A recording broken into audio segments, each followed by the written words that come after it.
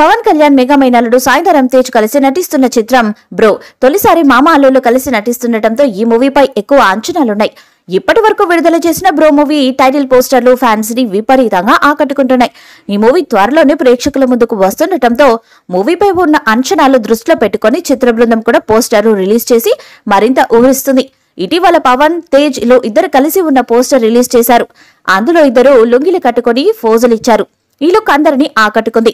తాజాగా మూవీ నుంచి మరో క్రేజీ అప్డేట్ వచ్చింది. దాని ప్రకారం పవన్ ఈ మూవీ టీజర్కి డబ్బింగ్ పూర్తి చేసేశారట.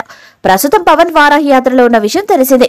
అయితే ఆయనను ఇబ్బంది పెట్టకుండా పవన్ ఉన్న ప్రదేశానికి డబ్బింగ్కు చెప్పించుకోవడానికి అన్ని ఏర్పాట్లు చేసుకుంది మూవీ టీం ఈ విషయాన్ని మూవీ టీం అధికారికంగా ప్రకటించింది. ఇది నిజంగా ఫ్యాన్స్కి గుడ్ న్యూసే. ఇది ఇలా ఉండగా ఈ సినిమాకి సముద్రకని దర్శకత్వం వహిస్తున్నారు. తమిళ హిట్ మూవీ వినోదయ్య సీతంకి రీమేక్గా తెరకెక్కుతుంది. అయితే పవన్ తేజ్ ఇమేజ్కి తగినట్లు కథల మార్పులు చేశారు.